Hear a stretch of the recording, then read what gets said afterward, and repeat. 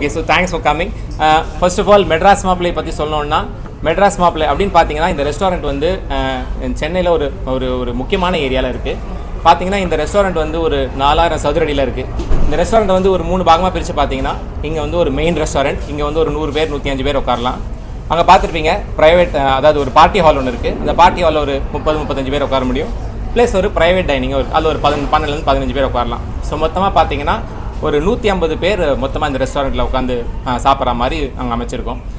இன்னொன்று பார்த்தீங்கன்னா மெட்ராஸ் மாப்பில் ஏன் இந்த பேர் அப்படின்னு எல்லாருக்கும் தோணும் கரெக்ட்டுங்களா ஸோ நம்ம தமிழ்நாட்டிலே பார்த்தீங்கன்னு வச்சுக்கோங்களேன் ஒரு முக்கியமான விருந்து அப்படின்னா எல்லாருமே ஒரு காலத்தில் மாப்பிள்ளையாக இருந்திருப்போம். ஸோ உங்களுக்கு எல்லாருக்குமே ஒரு முக்கியமான விருந்து என்னவாக இருந்திருக்கும் பார்த்துருக்கீங்களா ஸோ நம்ம வந்து நம்ம மாமியார் வீட்டுக்கோ இல்லை போகும்போது அங்கே கொடுக்குற விருந்து பார்த்துருப்பீங்களா? மாப்பிள்ளை விருந்துன்னு சொல்லுவாங்க.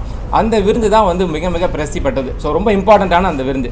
ஸோ அந்த மாப்பிள்ளை விருந்து மெட்ராஸ்லேருந்து நாங்கள் கொடுக்குறதுனால தான் இது வந்து மெட்ராஸ் மாப்பிள்ளைன்ற பெயரே வச்சுருக்கோம். ஸோ அதுதான் வந்து இந்த பெயருக்கான காரணமும். ஸோ இது வந்து ரொம்ப இம்பார்ட்டண்ட்டான ஒரு விஷயம் எங்களுக்கு. எங்களை பொறுத்த வரைக்கும் நாங்கள் ரெஸ்டாரண்ட் ஃபீல்டில் கொஞ்சம் நல்லா இருக்கோம். ஃபீனிக்ஸில் வந்து ஃபீனிக்ஸ் மார்க்கெட் சிட்டின்னு ஒரு மால் இருக்குது அங்கே வந்து ஒரு ஒரு ஃபுட் கோர்ட் வச்சுருக்கோம் இதே பிராண்டில் ஸோ இந்த பிராண்டை வந்து இப்போ வந்து ஒரு டைனிங் ரெஸ்டாரண்ட்டாக கொண்டு வந்திருக்கோம். ஸோ இந்த ரெஸ்டாரண்ட்டை எல்லாருக்கும் அறிமுகப்படுத்துறதுல எங்களுக்கு ரொம்ப சந்தோஷம்.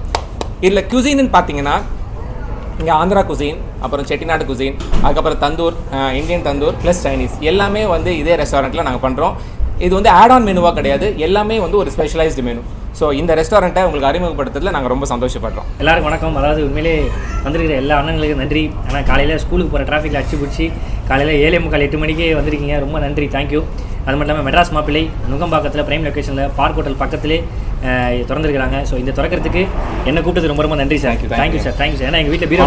கூப்பிட மாட்டாங்க. இவ்வளோ பெரிய ஷாப் தர கூப்பிட்றீங்க ரொம்ப நன்றி சார் தேங்க்ஸ் எல்லாம் அவ்வளோ சூப்பராக இருக்குது. ஷாப் பார்க்கும்போது கிச்சன்லாம் அவ்வளோ க்ளீனாக டைனிங்லாம் பக்காவாக இருக்குது. ஏன்னா பிரதர் ஜெரம் ப்ரோவையும் பத்ரி ப்ரோவையும் எனக்கு நல்லா தெரியும். ஸோ அவங்க இப்படி ஒரு விஷயம் பண்ண நினைக்கும் போது ரொம்ப சந்தோஷமாக இருக்குது அதை என்னை வச்சு கூப்பிட்டதுக்கு ரொம்ப ரொம்ப நன்றி. அது இல்லாமல் ஒவ்வொரு ரூம்லேயும் வந்து ஒரு விஷயம் சொன்னீங்க. அங்கே வந்து ஒரு கெட்டு கெதர் மாதிரி பண்ணலாம். இந்த Mini பக்கம் மினி பார்ட்டி ஹால் இந்த இடத்துல வந்து என்ன வேணா Main dining area. Main dining area நிச்சயதார்த்தம் பண்ணலாம்.